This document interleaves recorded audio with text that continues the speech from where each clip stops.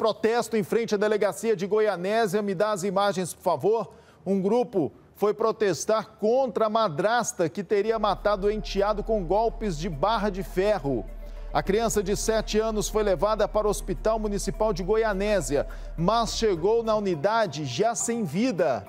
Davi Luiz Rodrigues apresentava hematomas no pé, traumatismo craniano, fraturas nas costelas, além de hematomas e escoriações. A madrasta e o pai da criança disseram para a polícia que o menino chegou com vida e conversando na unidade de saúde. Os médicos contestaram essa informação e contaram que Davi já chegou morto nesta unidade.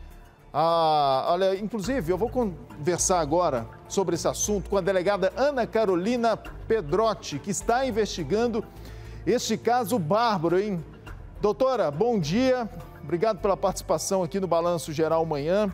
Tanto a madrasta quanto o pai foram presos, né? O que, que eles disseram à polícia? É, eles, ambos foram presos e eles falam que, é, de fato, houve uma agressão ao, ao Davi. Ele foi agredido na segunda-feira, mas que ficou tudo bem, tudo certo, que ele passou mal na terça-noite e foi para o hospital com vida o que contrasta com, o que os médicos que atenderam o Davi falam, né? Que ele já chegou morto e até mesmo com indícios de rigidez cadavérica. Olha, você, você de casa percebeu no que essa madrasta e no que o pai contaram para a polícia? Eles disseram que houve sim uma agressão, mas que tudo bem, depois continua ali numa boa dentro de casa. E aí só no dia seguinte a criança passou mal. É, primeiro que qualquer tipo de agressão contra a criança já é crime. E, e, e os médicos, doutora, o que, que eles disseram? Claro que os médicos ali, apesar da criança já ter chegado morta, mas eles ah, tiveram contato com o corpo do menino, viram ali as lesões, algumas escoriações. O que, que eles contaram para a polícia sobre as marcas no corpinho dessa criança?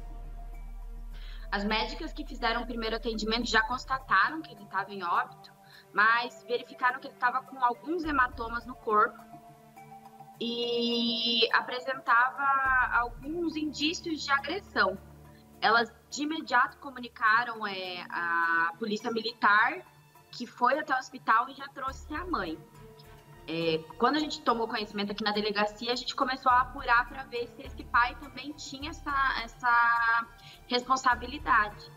E ele né, foi constatado durante as investigações que de fato ele sabia que a, que a, que a esposa tinha agredido o enteado.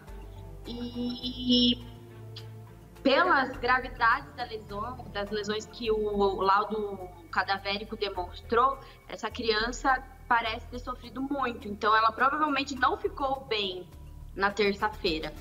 Ela ficou muito mal não foi levada no hospital, não foi, é, não foi feito nada para tentar é, salvar a vida dessa, dessa criança, do Davi. Meu Deus, o que essa criança deve ter sofrido na mão da madrasta, do próprio pai, né? Olha aí a foto dos dois, que estão presos ainda, né, doutora?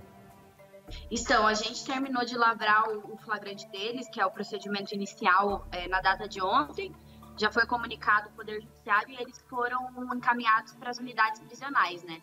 Ela para a unidade prisional feminina e ele para a masculina aqui de Goianésia. Essa criança morava com o pai, com a madrasta, ou estava passando apenas alguns dias lá? Já vinha sofrendo agressões há um tempo?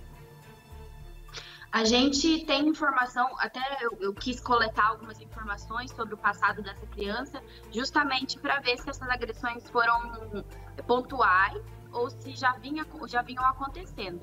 E a gente tem testemunhas de que essas agressões aconteciam há muito tempo. Eles estavam. Eh, o, o Davi veio é, morar com o pai, com a madrasta, e desde então ele tem sido agredido por, segundo informações que a gente obteve, ser um menino muito custoso. Meu Deus, isso não é justificativa alguma, né, para agredir uma criança.